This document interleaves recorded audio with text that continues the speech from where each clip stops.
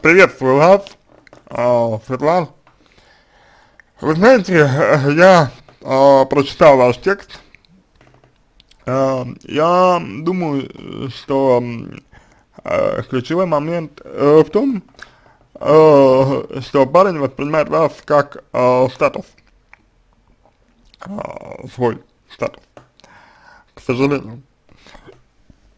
Э, что это значит, э? Э, дело в том, что э, мужчина говорит, что э, такую, как ты, я нигде больше, нигде больше не найду. Никогда, никогда. И э, э, мне кажется, что это свидетельство о том, что он воспринимает, воспринимает вас э, как ценность. То есть вы для него именно ценность. Вы для него не а,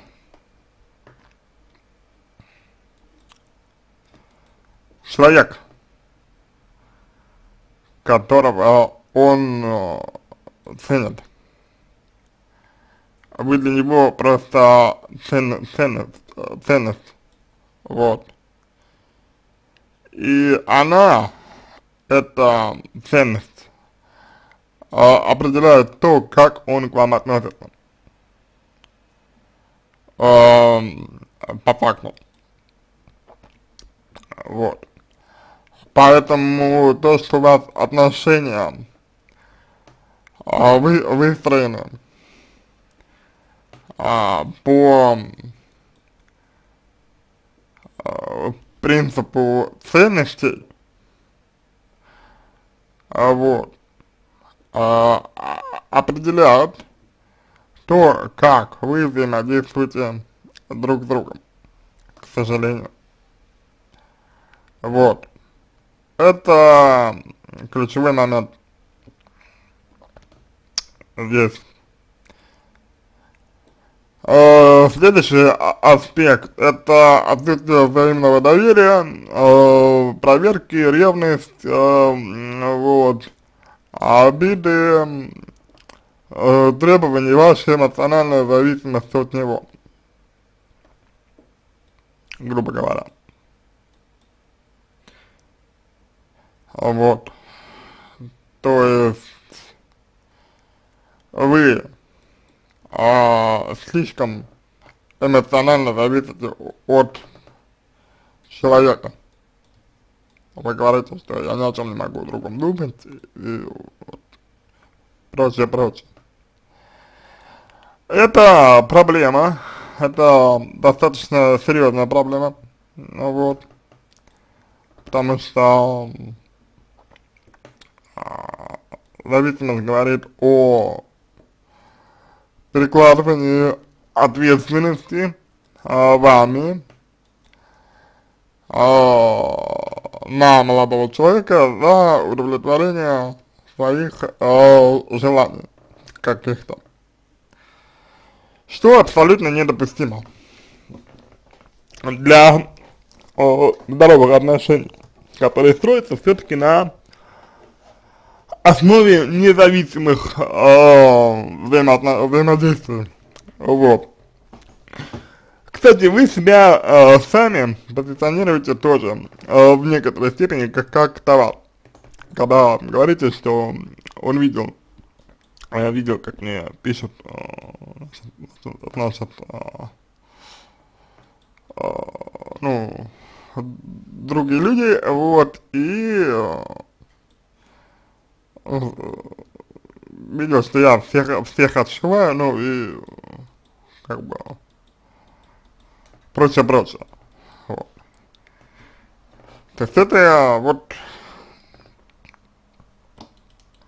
восприятие вас, э, себя, э, восприятие вами э, себя самой, себя самой такое. Вот. А, значит, вот с этим и нужно работать. А, отсутствие доверия к молодому человеку это отсутствие доверия к вам самой, то есть вы сами себе не доверяете. А, вот к моему большому сожалению. И работать здесь э, нужно скорее именно с вашими чувствами, вот, с вашими э, эмоциями, чтобы вы прислушивались э, лучше к себе и э, понимали, э, чего вам хочется, понимали, что вам нужно, и не ориентировались в этом на молодого человека, а больше на себя, больше на себя. Вот, собственно, молодой человек поэтому вас и не ценит, и потому не ревнует, потому что вы вся мыслями о нем, вот. Мужчина это ощущает, ощущает, что от него зависимо, ощущает, что вы к нему привязаны, и э, отчасти именно поэтому не может э, воспринять вас э, всерьез, да, ревновать и прочее. Только вопрос заключается в том, э, почему вы хотите, чтобы он э, вас ревновал. То есть тут вот у вас, опять же, какие-то такие достаточно незрелые, на мой взгляд, отношения. Вот. А, потому что когда отношения зрелые, все-таки ну, не, не хочешь, чтобы э, ревновали тебя, тебя, вот, и чтобы ты ревновал тоже.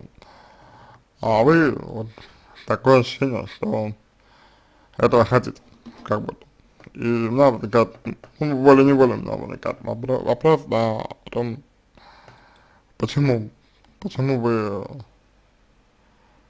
этого хотите?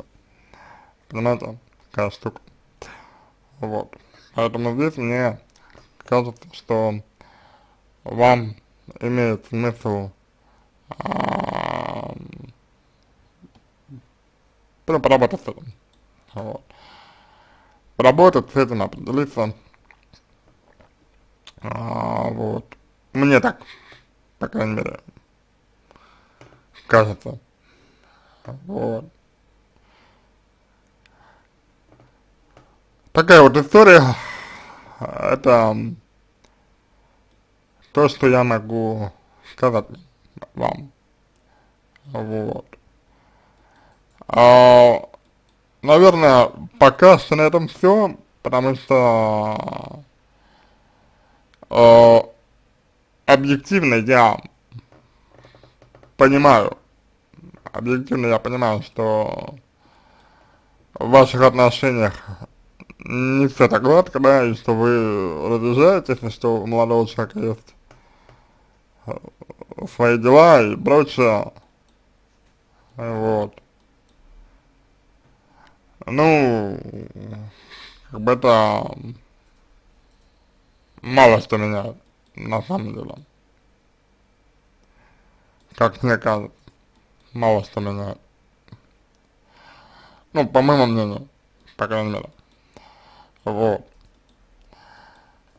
А вот, в принципе, то, что я могу вам сказать. Значит, а, то есть вот вы говорите, да, значит, э,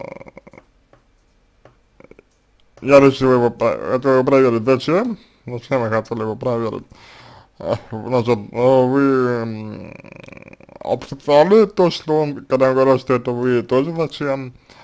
Вот.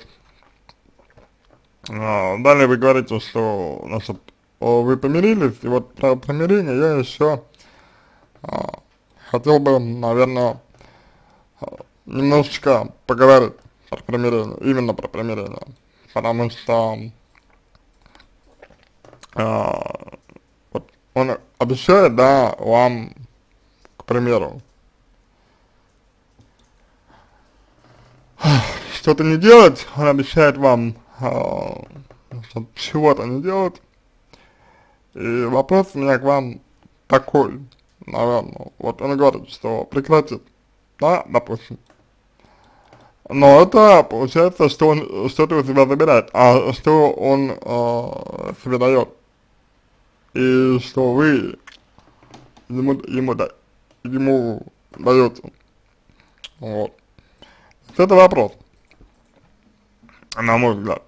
Поэтому тут нужно этот момент определить. И когда вы миритесь, по факту, когда вы миритесь, то важно понимать, что примирение любое, оно без выработки э, каких-то решений не работает. Если вы не ну, если вы не приходите к каким-то решениям, то от примирения мало толку. Это совершенно. Вот. И как бы это, наверное, один из самых ключевых моментов. Что ваше примирение это просто примирение. Это не приход к каким-то решениям. Это не выработка каких-то позиций э, ваших. Понимаете? Такая штука. И как бы в этом суть. А, в, этом суть вся. Просто. И вам нужно, вот, наверное, как-то, э, ну, как-то по-другому э, решать э, свои проблемы. То есть по-другому э, ставить себя э, в этих, в этих, ну, в этих, в этих э, проблемах по-другому, иначе. Потому что простые примирения вам ну, ничего не дадут. Вот. Так что, я надеюсь, вы э, сделаете для себя какие-то выводы и будете э, по-другому уже э, ну, воспринимать эту ситуацию. Будете, будете по-другому, иначе э, подходить к вопросу э, значит, решения конфликтов. Вот. Ну, в этом вам, в принципе, можно помочь. Вот. А, в этом вам можно помочь. Как мне кажется. Если вы заинтересованы а, в том, чтобы отношения гармонизировать. Но в первую очередь желательно понять, что хотите вы сами. Вот. Чего хотите вы сами. Это важно. Чтобы не было, не, не было такой зависим, зависимости от молодого человека, как это есть э, сейчас у вас. Понимаете, понимаете? Вот. Такая вот история. Э, я надеюсь, что это было для вас полезно. А, если вам понравился мой ответ, буду благодарен э, за его оценку э, в качестве лучшего. Я вам, э, я вам желаю всего самого доброго, удачи, надеюсь, что ситуация ваша разрешится самым лучшим образом.